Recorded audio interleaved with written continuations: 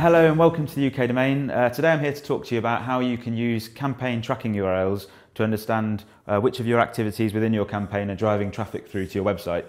Uh, so I'm going to start off with a bike repair shop example. So let's say you've got a bike repair shop, you're holding a winter sale, and you're going to have various activities that are driving uh, traffic to this particular landing page. So if you've got uh, a banner on two different websites, you've got your newsletter which you're sending out, which is going to contain a link to the winter sale page, and you've got your content roundup, which is also going to contain some links to the uh, to your sale page. But you want to be able to understand which of these actually sent traffic to your page.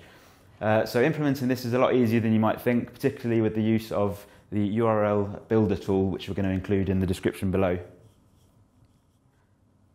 So you'll need to create a unique custom URL for each banner or email link you have. And don't forget, you might include more than one li uh, link in your email, so you want to understand which of the links was clicked. Uh, first, you need to define the full landing page URL, then the campaign source, which could be the website where the banner is placed.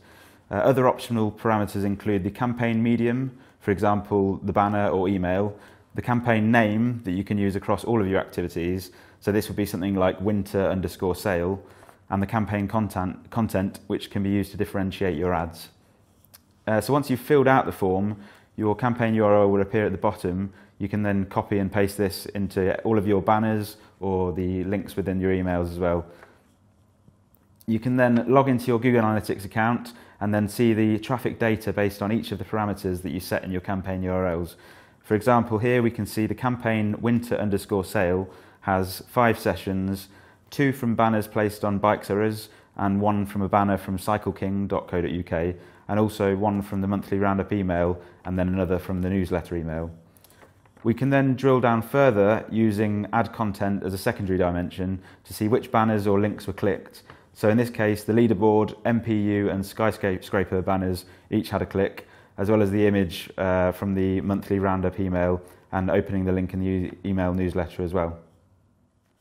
Uh, so for those of you that are actually familiar with Google Analytics, you obviously know that you can set up conversions and goals so in this case, you can actually understand which of your campaign activities triggered a goal. So if it was a sale, for instance, within your bike repair sale, you'll be able to say you got five sales from the banner ad on Bikesaurus and two from bikeshop.co.uk.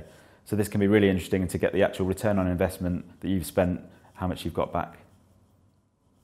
Uh, I hope you found today's video useful. If you've got any other website related questions, you can ask them using the Ask the UK Domain hashtag.